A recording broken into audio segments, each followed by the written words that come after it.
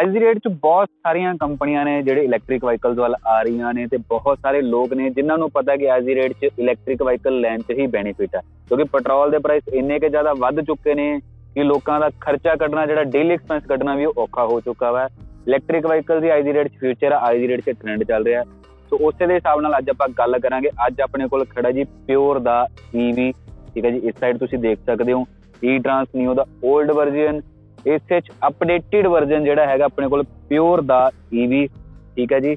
ਤੁਸੀਂ ਦੇਖ ਸਕਦੇ ਹੋ ਈ ਟਰਾਂਸ ਨਿਓ ਜਿਹੜਾ ਨਵਾਂ ਵਰਜ਼ਨ ਹੈ, ਜਿਹੜਾ ਕਸਟਮਰ ਦੇ ਰਿਸਪੌਂਸ ਕਸਟਮਰ ਦੇ ਫੀਡਬੈਕ ਕਸਟਮਰ ਦੀਆਂ ਕੰਪਲੇਂਟਸ ਤੋਂ ਬਾਅਦ ਜਿਹਨੂੰ ਅਪਡੇਟ ਕਰਕੇ ਨਵਾਂ ਵਰਜ਼ਨ ਜਿਹੜਾ ਉਹ ਲਿਆਂਦਾ ਗਿਆ। ਅੱਜ ਇਹਦੇ ਸਾਨੂੰ 10 ਪੁਆਇੰਟਸ ਜੋ ਕੰਪਨੀ ਨੇ ਚੇਂਜਸ ਕੀਤੇ ਨੇ, ਜਿਹੜੇ ਲੋਕਾਂ ਦੀ ਕੰਪਲੇਂਟ ਸੀ, ਲੋਕਾਂ ਦੇ ਫੀਡਬੈਕ ਸੀ, ਲੋਕਾਂ ਦੀ ਰਿਕੁਐਸਟ ਸੀ ਵੀ ਇਹ ਚੀਜ਼ਾਂ ਚੇਂਜਸ ਹੋਣੀਆਂ ਚਾਹੀਦੀਆਂ ਨੇ।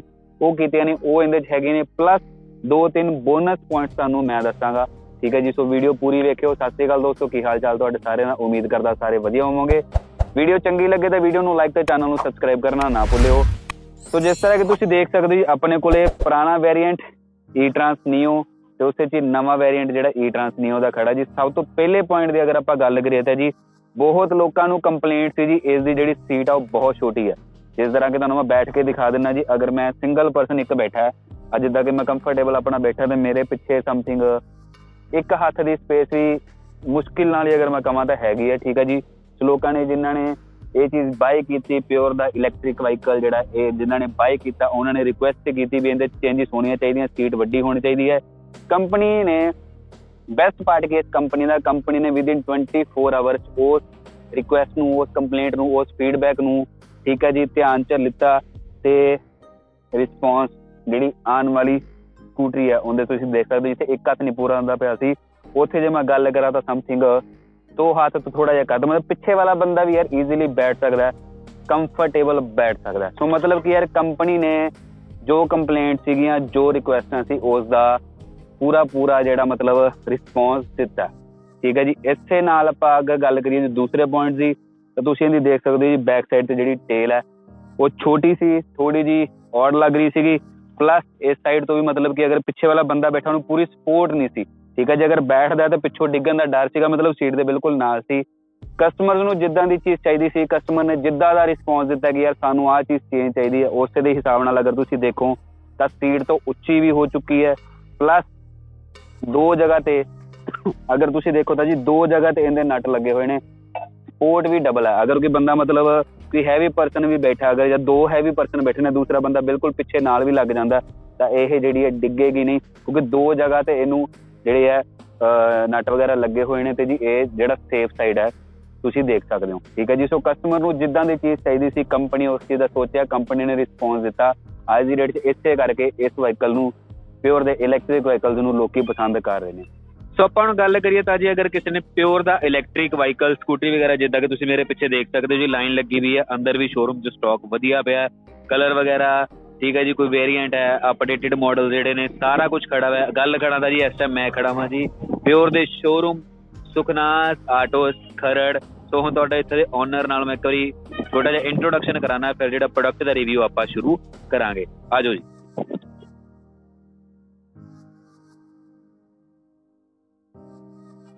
ਸੋ ਇਹ ਨੇ ਜੀ ਇੱਥੋਂ ਦੇ ਓਨਰ ਸਤਿ ਸ਼੍ਰੀ ਅਕਾਲ ਸਰ ਸਤਿ ਸ੍ਰੀ ਅਕਾਲ ਜੀ। ਸਰ ਵਿਊਅਰਸ ਨੇ ਕਰੀ ਆਪਣਾ ਇੰਟਰੋਡਕਸ਼ਨ ਦਿਓ। ਮੇਰਾ ਨਾਮ ਹੈ ਜੀ ਅਮਰੀਕ ਸਿੰਘ ਮੈਂ ਮੈਨੇਜਿੰਗ ਪਾਰਟਨਰ ਹਾਂ ਸੁਖਨਾਜ਼ ਆਟੋਮੋਬਾਈਲ ਦਾ ਠੀਕ ਹੈ। ਤੇ ਸਰ ਇੱਕ ਵਾਰੀ ਐਡਰੈਸ ਵੀ ਦੱਸ ਦਿਓ ਆਪਣਾ ਵਿਊਅਰਸ ਨੂੰ। ਐਡਰੈਸ ਹੈ ਜੀ ਖਰੜ ਲਾਂਡਾ ਰੋਡ ਤੇ ਸੈਕਟਰੀ 127 ਮੋਹਾਲੀ। ਠੀਕ ਹੈ। ਤੇ ਸੁਖਨਾਜ਼ ਆਟੋਮੋਬਾਈਲ ਸਾਡੀ ਫਰਮ ਦਾ ਨਾਮ ਹੈ। ਠੀਕ ਹੈ। ਤੇ ਇਹ ਇਹ ਖੁੱਲਦੀ ਹੈ ਸਵੇਰੇ 10 ਵਜੇ ਤੋਂ ਲੈ ਕੇ 6 ਵਜੇ ਸ਼ਾਮੀ ਕਲੋਜ਼ਿੰਗ ਟਾਈਮ ਹੈ। ਪੂਰਾ ਹਫਤਾ ਖੁੱਲ੍ਹਦੇ ਸਰ? ਪੂਰਾ ਹਫਤਾ ਖੁੱਲਦੀ ਹੈ ਸੰਡੇ ਨੂੰ 2 ਵਜੇ ਕਲੋਜ਼ਿੰਗ ਹੈ। ਸੰਡੇ 2 ਵਜੇ ਕਲੋਜ਼ਿੰਗ ਹੈ ਤੇ ਬਾਕੀ ਜਿਹੜਾ ਫੁੱਲ ਵੀਕ ਹੈ ਉਹ ਤੁਹਾਨੂੰ 10 ਵਜੇ ਤੋਂ 6 ਵਜੇ ਤੱਕ ਕਰੇਗਾ ਤੇ ਸਰ ਗੱਲ ਕਰੀਏ ਇੱਥੇ ਆਪਣੇ ਕਸਟਮਰਸ ਨੂੰ ਕੀ ਕੀ ਮਿਲੇਗਾ ਕੀ ਕੀ ਫੈਸਿਲਿਟੀਜ਼ ਮਿਲਣਗੀਆਂ? ਦੇਖੋ ਜੀ ਸਾਡੇ ਕੋਲ ਇਨਵੈਂਟਰੀ ਪੂਰੀ ਹੈ ਵਰਕਸ਼ਾਪ ਹੈ। ਠੀਕ ਹੈ। ਤੇ ਸਟਾਕ ਸਾਡੇ ਕੋਲ ਜਿਹੜੇ ਸਕੂਟਰਸ ਨੇ ਦੋ ਮਾਡਲ ਮਾਡਲ ਜਿਹੜੇ ਨਾਨ ਆਰਸੀ ਨੇ ਤੇ ਦੋ ਮਾਡਲ ਹੈ ਜਿਹੜੇ ਉਹ ਆਰਸੀ ਵਾਲੇ ਨੇ। ਠੀਕ ਹੈ। ਸਾਰੀ ਫੈਸਿਲਿਟੀ ਇੱਥੇ ਅਵੇਲੇਬਲ ਹੈ। ਕਿਸੇ ਵੀ ਵਰਕਸ਼ਾਪ ਦੂਜੀ ਜੋ ਕਿਤੋਂ ਵੀ ਲਿਆ ਹੋਵੇ ਸਕੂਟਰ ਕਿਸੇ ਭਾਵੇਂ ਬਠਿੰਡੇ ਸਾਡੀ ਡੀਲਰਸ਼ਿਪ ਉੱਥੋਂ ਲਿਆ ਹੋਵੇ ਅਸੀਂ ਉਹਨੂੰ ਵੀ ਇੱਥੇ ਸਰਵਿਸ ਦਵਾਂਗੇ।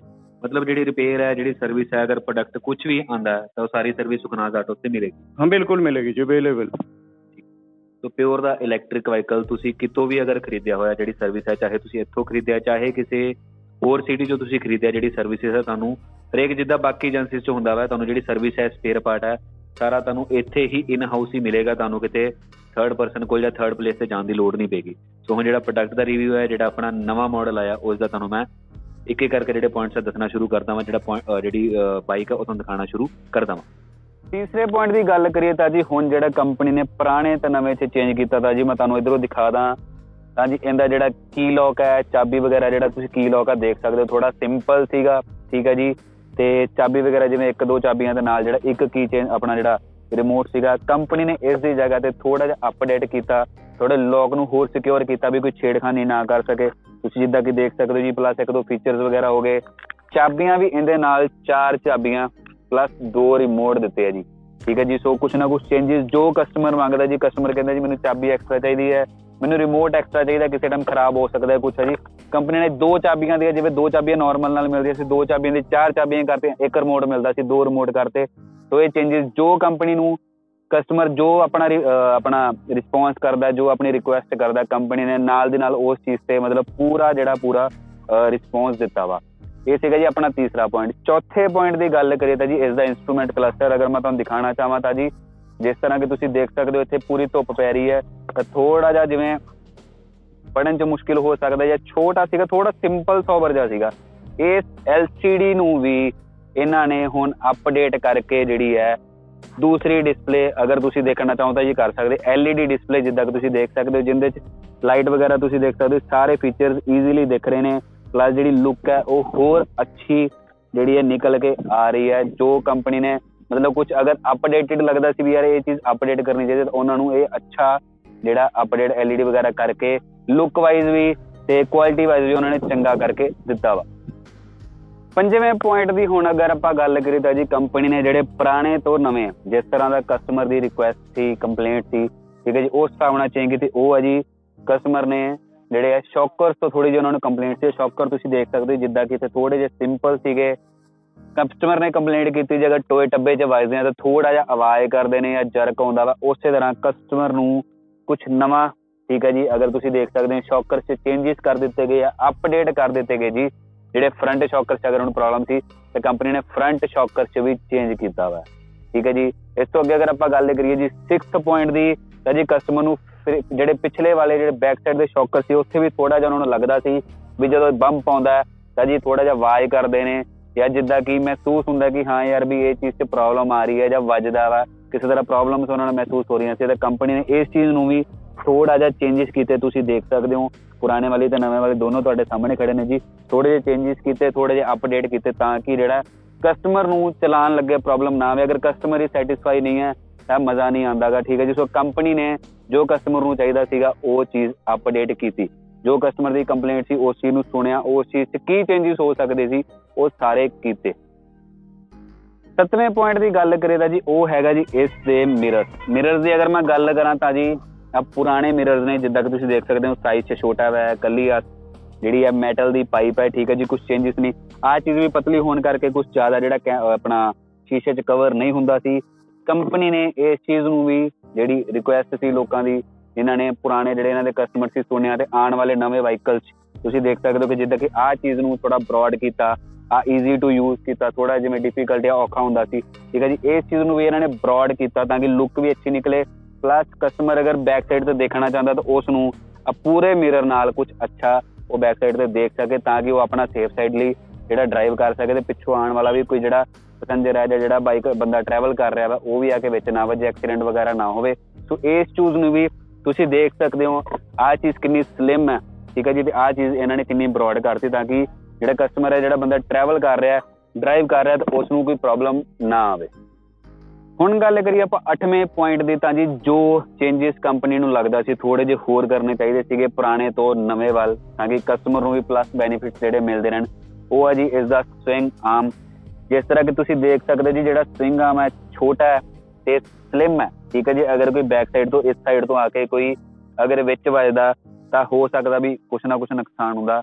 ਉਸ ਚੀਜ਼ ਦਾ ਵੀ ਕੰਪਨੀ ਨੇ ਧਿਆਨ ਰੱਖਦੇ, ਉਸ ਪਤਲੇ ਵਾਲੇ ਨੂੰ ਚੇਂਜ ਕਰਕੇ ਬ੍ਰੌਡ ਕੀਤਾ ਥੋੜਾ ਜਿਹਾ ਸਟਰੋਂਗ ਕੀਤਾ, ਤਾਂ ਕਿ ਇਨ ਕੇਸ ਕੋਈ ਇਸ ਸਾਈਡ ਤੋਂ ਆਂਦਾ ਜਾਂ ਕੋਈ ਮਤਲਬ ਇਸ ਸਾਈਡ ਤੋਂ ਕਿ ਵਾਹੀਕਲ ਵੱਜਦਾ ਜਾਂ ਕੋਈ ਚੀਜ਼ ਵੱਜਦੀ ਹੈ, ਤਾਂ ਐਟ ਲੀਸਟ ਅਗਲੇ ਪਾਸੇ ਟਾਇਰ ਨੂੰ ਜਾਂ ਉਸ ਜਗ੍ਹਾ ਤੇ ਜਿਹੜੇ ਆਪਣੇ ਬ੍ਰੇਕਸ ਵਗੈਰਾ, ਉਸ ਤੇ ਕਿਸੇ ਵੀ ਤਰ੍ਹਾਂ ਦਾ ਜਿਹੜਾ ਪਾਰਟ ਹੈ ਉਸ ਨੂੰ ਕੋਈ ਪ੍ਰੋਬਲਮ ਜਿਹੜਾ ਸ਼ੌਕਰਸ ਵਗੈਰਾ, ਉਹਨਾਂ ਨੂੰ ਕੋਈ ਪ੍ਰੋਬਲਮ ਨਾ ਹੋਵੇ।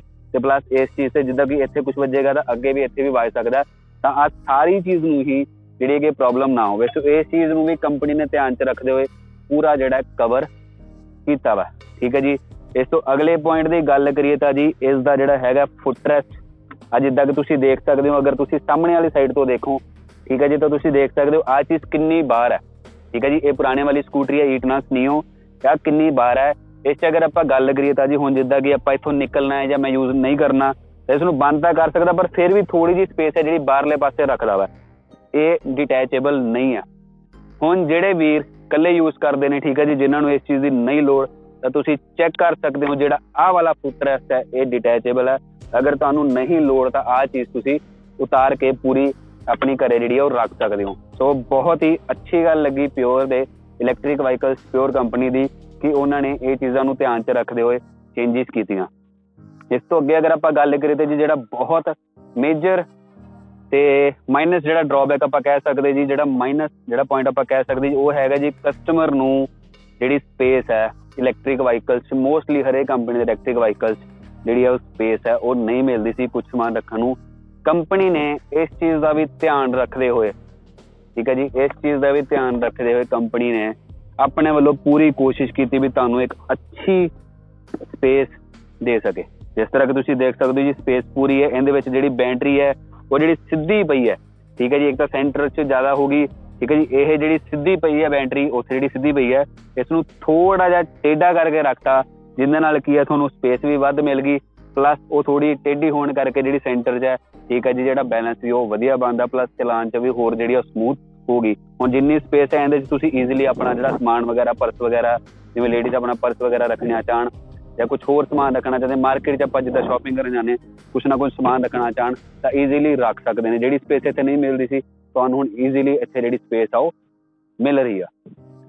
ਸੋ ਇਹ ਤਾਂ ਸੀਗੇ ਜੀ ਕੰਪਨੀ ਵੱਲੋਂ ਜਿਹੜੇ ਪੁਰਾਣੇ ਈ ਟਰਾਂਸ ਨੀਓ ਚੋਂ, ਨਵੇਂ ਈ ਟਰਾਂਸ ਨੀਓ ਚ ਜਿਹੜੇ ਚੇਂਜਸ ਕੀਤੇ ਨੇ, ਉਹ 10 ਪੁਆਇੰਟਸ ਜਿਹੜੇ ਮੈਂ ਤੁਹਾਨੂੰ ਸ਼ੁਰੂ ਤੋਂ ਲੈ ਕੇ ਅਖੀਰ ਤੱਕ ਦੱਸਦੇ ਹੁਣ ਕੁਝ ਬੋਨਸ ਪੁਆਇੰਟਸ ਜਾਂ ਕੁਝ ਐਕਸਟਰਾ ਪੁਆਇੰਟਸ ਜਿਹੜੇ ਪਿਓਰ ਈਵੀ ਕੰਪਨੀ ਦੇ ਹੈਗੇ ਨੇ, ਜੋ ਕਿ ਮੈਨੂੰ ਅੱਛੇ ਲੱਗਦੇ ਨੇ, ਮੈਂ ਤੁਹਾਡੇ ਨਾਲ ਉਹ ਸ਼ੇਅਰ ਕਰਾਂਗਾ ਕੁਝ ਆਪਣਾ ਰਿਵਿਊ ਜਿਹੜਾ ਮੈਂ ਸ਼ੇਅਰ ਕਰਾਂਗਾ।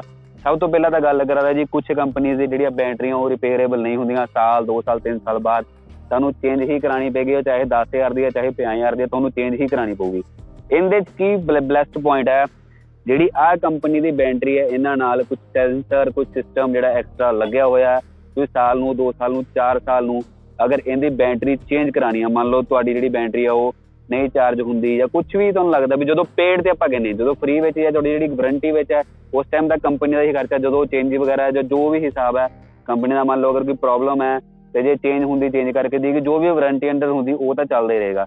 ਅਗਰ ਵਾਰੰਟੀ ਤੋਂ ਬਾਅਦ ਕਰੀਏ, ਜਿੱਦਾਂ ਕਿ ਆਪਾਂ 4-5 ਸਾਲ ਬਾਅਦ ਆਪਾਂ ਬੈਟਰੀ ਚੇਂਜ ਕਰਾਣੀ ਹੈ ਇਹਦੀ ਜਿਹੜੀ ਬੈਟਰੀ 'ਚ ਪਲੱਸ ਪੁਆਇੰਟ ਹੈ ਪਿਓਰ ਦੇ ਇਲੈਕਟ੍ਰਿਕ ਵਹੀਕਲ ਦੀ ਬੈਟਰੀ 'ਚ ਜਿਹੜਾ ਪਲੱਸ ਪੁਆਇੰਟ ਆ, ਮੈਂ ਤੁਹਾਨੂੰ ਕਲੀਅਰਲੀ ਦੱਸਦਾ, ਇਹਦੇ 'ਚ ਜਿਹੜੇ ਸੈੱਲ ਹੁੰਦੇ ਨੇ, ਅਗਰ ਮੰਨ ਲਓ ਕੋਈ ਸੈੱਲ ਜਿਵੇਂ ਇਹਦੇ 'ਚ ਮੰਨ ਲਓ 4 ਸੈੱਲ ਹੈ 6 ਸੈੱਲ ਹੈ ਕੋਈ ਸੈੱਲ 'ਚ ਪ੍ਰੋਬਲਮ ਆਂਦੀ ਤਾਂ ਕੰਪਨੀ ਤੁਹਾਨੂੰ ਕਦੇ ਨਹੀਂ ਕਹੇਗੀ ਵੀ ਤੁਸੀਂ ਪੂਰੀ ਬੈਟਰੀ ਚੇਂਜ ਕਰੋ, ਤੁਸੀਂ ਇਕੱਲਾ ਸੈੱਲ ਵੀ ਚੇਂਜ ਕਰਵਾ ਸਕਦੇ ਹੋ, ਤੁਸੀਂ ਆਪਣੀ ਬੈਟਰੀ ਦਿਖਾ ਸਕਦੇ ਹੋ ਕੰਪਨੀ ਨੂੰ ਕੋਈ ਲੱਗਦਾ ਵੀ ਇਹ ਸੈੱਲ ਡੈਡ ਆ, ਉਹ ਚੇਂਜ ਕਰ ਦੇਗੀ ਕੰਪਨੀ ਨੂੰ ਕੋਈ ਲੱਗਦਾ ਵੀ ਕਿਸੇ ਸੈੱਲ 'ਚ ਥੋੜੀ ਬਹੁਤੀ ਵੋਲਟੇਜ ਦੇ ਕੇ ਉਸ ਨੂੰ ਰਿਪੇਅਰ ਕੀਤਾ ਜਾ ਸਕਦਾ ਹੈ ਜਾਂ ਕੁਛ ਨਾ ਕੁਛ ਚੇਂਜਸ ਕਰਕੇ ਉਹਨੂੰ ਫਿਕਸ ਕੀਤਾ ਜਾ ਸਕਦਾ ਤਾਂ ਉਹ ਫਿਕਸ ਵੀ ਹੋ ਜਾਣਗੇ। ਮਤਲਬ ਕਿ ਬੈਸਟ ਪਾਰਟ ਇਹ ਹੈ ਕਿ ਜਿਹੜੀ ਬੈਟਰੀ ਹੈ, ਉਹ ਵੀ ਰਿਪੇਅਰੇਬਲ ਹੈ। ਸਭ ਤੋਂ ਬੈਸਟ ਪਾਰਟ ਜਿਹੜਾ ਪਿਓਰ ਈਵੀ ਦਾ ਕਿ ਜਿਹੜੀ ਬੈਟਰੀ ਹੈ, ਉਹ ਵੀ ਰਿਪੇਅਰੇਬਲ ਰਹੇਗੀ।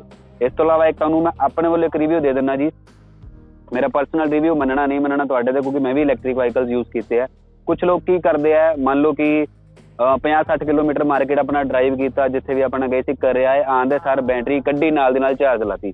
ਨਹੀਂ ਉਹ ਬੈਟਰੀ ਜਿਵੇਂ ਆਪਾਂ ਘਰੇ ਯਾਰ ਆਪਾਂ ਅਗਰ ਪੈਟਰੋਲ ਵਾਲਾ ਮੰਨ ਲਓ ਗੱਡੀ ਚਲਾ ਕੇ ਲੈ ਕੇ ਆਏ ਜਾਂ ਬਾਈਕ ਚਲਾ ਕੇ ਲੈ ਕੇ ਆਏ ਆ, ਤਾਂ ਗੱਡੀ ਗਰਮ ਹੁੰਦੀ ਹੈ ਉਸੇ ਤਰ੍ਹਾਂ ਜੇ ਇਲੈਕਟ੍ਰਿਕ ਵਾਹੀਕਲ ਹੈ ਸਾਰਾ ਬੈਟਰੀ ਤੇ ਚੱਲਦਾ ਠੀਕ ਹੈ ਜਿਹਦਾ ਬੈਟਰੀ ਵੀ ਗਰਮ ਹੁੰਦੀ ਹੈ ਇਸ ਨੂੰ ਕਰੇ ਆਉਣ ਤੋਂ ਬਾਅਦ ਆਪਣਾ ਅੱਧਾ ਪੌਣਾ ਘੰਟਾ ਨੂੰ ਠੰਡੀ ਹੋਣ ਦੋ ਨਾਰਮਲ ਟੈਂਪਰੇਚਰ ਜਿੱਦਾਂ ਕਿ ਯਾਰ ਆਪਾਂ ਜੇ ਆਪਾਂ ਭੱਜ ਕੇ ਆਨੇ ਆਪਾਂ ਮੰਨ ਲਓ ਹੁਣ ਇੱਥੋਂ ਭੱਜ ਕੇ ਉਧਰ ਨੂੰ ਗਏ, ਇੱਧਰ ਆ ਗਏ, ਆਪਾਂ ਨੂੰ ਵੀ ਪਸੀਨਾ ਦਾ ਆਪਣਾ ਸਰੀਰ ਵੀ ਗਰਮ ਹੁੰਦਾ।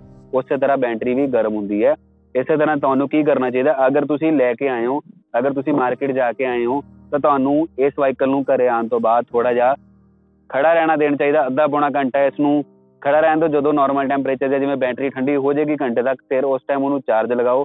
ਚਾਰਜ ਲਾਉਣ ਤੋਂ ਬਾਅਦ ਜਦੋਂ ਫੁੱਲ ਚਾਰਜ ਹੋ ਜਾਂਦੀ ਅੱਧੀ ਚਾਰਜ ਜਦੋਂ ਵੀ ਤੁਸੀਂ ਕਿਤੇ ਜਾਣਾ, ਉਸ ਤੋਂ 15-20 ਮਿੰਟ ਪਹਿਲਾਂ, ਮੰਨ ਲਓ ਤੁਸੀਂ ਕਿਤੇ ਇਨਸਟੈਂਟ ਜਾਣਾ, ਤੁਸੀਂ 4 ਵਜੇ ਜਾਣਾ ਤਾਂ ਤੁਸੀਂ ਆਪਣੀ ਬੈਟਰੀ 15-20 ਮਿੰਟ ਪਹਿਲਾਂ ਉਤਾਰ ਦਿਓ, ਜਿਹਦੇ ਨਾਲ ਕਿ ਉਹਦੀ ਲਾਈਫ ਅੱਛੀ ਹੋ ਜਾਏਗੀ।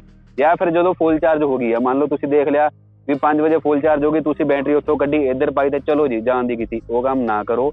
ਠੀਕ ਹੈ ਜੀ ਉਹਨਾਂ ਨਾਲ ਬੈਟਰੀ ਦੀ ਲਾਈਫ ਘਟਦੀ ਹੈ। ਤੁਹਾਡੀ ਬੈਟਰੀ ਈਜ਼ੀਲੀ ਸਾਲ ਐਕਸਟਰਾ ਐਵਰੇਜ ਲਾ ਕੇ ਚੱਲ ਰਹੀ, ਸਾਲ ਐਕਸਟਰਾ ਚੱਲ ਸਕਦੀ, ਅਗਰ ਤੁਸੀਂ ਕੇ ਟੇਕ ਕਰਕੇ ਚੱਲਦੇ ਹੋ। ਠੀਕ ਹੈ ਜੀ, ਜਦੋਂ ਤੁਸੀਂ ਮਾਰਕੀਟ ਚੋਂ ਆਏ ਹੋ, ਉਸ ਟਾਈਮ ਥੋੜਾ ਜਿਹਾ ਇਹਨੂੰ ਠੰਡੀ ਹੋਣ ਦਿਓ ਫਿਰ ਚਾਰਜ ਲਾਓ, ਤੇ ਜਦੋਂ ਫੁੱਲ ਚਾਰਜ ਹੋ ਗਈ ਆ ਫੁੱਲ ਚਾਰਜ ਹੋਣ ਤੋਂ ਅਪਰੋਕਸੀਮੇਟ 15-20 ਮਿੰਟ, ਅੱਧੇ ਘੰਟੇ ਬਾਅਦ ਇਹਦੇ ਨਾਲ ਕਨੈਕਟ ਕਰੋ, ਤਾਂ ਕਿ ਜਿਹੜੀ ਉਹ ਚਾਰਜਿੰਗ ਸਾਰੀ ਉਸ ਬੈਟਰੀ ਦੇ ਵਿੱਚ ਘੁੰਮੀ ਹੈ, ਉਹ ਸਾਰੀ ਲੈਵਲ ਹੋ ਸਕੇ, ਸਾਰੀ ਸਟੇਬਲ ਹੋ ਸਕੇ।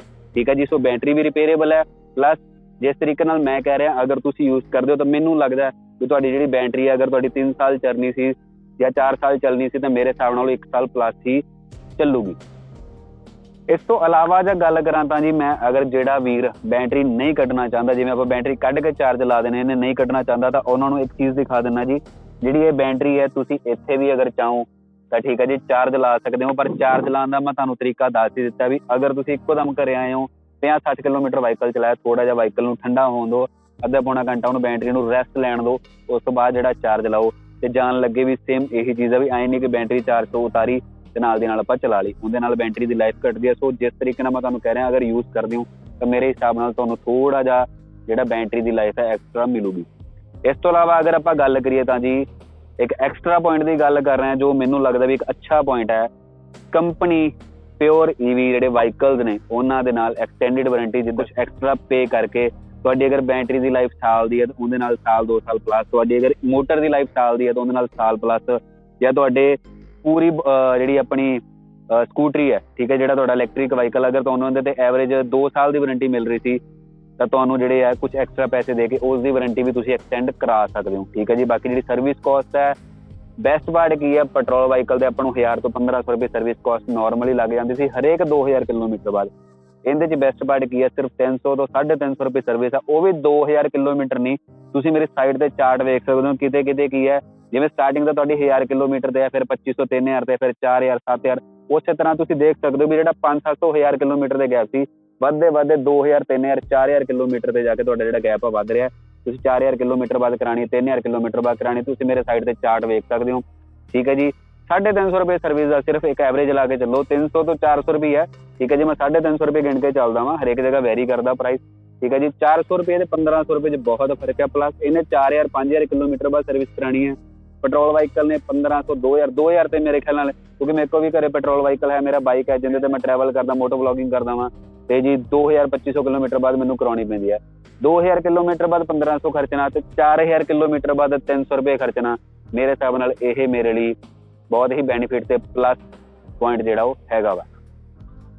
ਇਸ ਤੋਂ ਅੱਗੇ ਅਗਰ ਮੈਂ ਗੱਲ ਕਰਾਂ ਤਾਂ ਜੀ ਦੋ ਪੁਆਇੰਟਸ ਹੋਰ ਨੇ ਜੋ ਮੈਂ ਤੁਹਾਡੇ ਨਾਲ ਸ਼ੇਅਰ ਕਰਨਾ ਚਾਹਾਂਗਾ ਸਭ ਤੋਂ ਪਹਿਲੇ ਤੇ ਇਹ ਜਿਨ੍ਹਾਂ ਕੋਲੇ ਪੁਰਾਣੇ ਵਾਹੀਕਲਸ ਨੇ, ਜਿੱਦਾਂ ਕਿ ਕਿੰਨਾਂ ਕੋਲੇ ਪੁਰਾਣੀ ਈ ਟਰਾਂਸ ਨੀਓ ਹੈ ਜਾਂ ਆਪਣੀ e ਈ ਪਲੂਟੋ ਹੈ ਕੋਈ ਵੀ ਜਿਹਨਾਂ ਕੋਲੇ ਪਿਓਰ ਈਵੀ ਦਾ ਵਾਹੀਕਲ ਅਗਰ ਤੁਹਾਨੂੰ ਕੁਝ ਫਾਲਟ ਲੱਗਦਾ ਤੁਹਾਨੂੰ ਲੱਗਦਾ ਵੀ ਯਾਰ ਆਉਣ ਵਾਲੇ ਫਿਊਚਰ 'ਚ ਜਾਂ ਜਿਹੜੇ ਆਉਣ ਵਾਲੇ ਵਾਹੀਕਲਸ ਨੇ ਉਹਨਾਂ 'ਚ ਕੁਝ ਚੇਂਜਸ ਹੋਣੇ ਚਾਹੀਦੇ ਆ ਲਾਈਕ ਜਿੱਦਾਂ ਜਿੱਦਾਂ ਕਿ ਉਹਨਾਂ ਨੇ ਸਪੀਡ ਦੀ ਕੁਝ ਲੋਕਾਂ ਨੂੰ ਕੰਪਲੀਟ ਸੀ ਸਪੀਡ ਛੋਟੀ ਹੈ ਤਾਂ ਕੰਪਨੀ ਨੇ ਵੱਡੀ ਕੀਤੀ ਹੈ।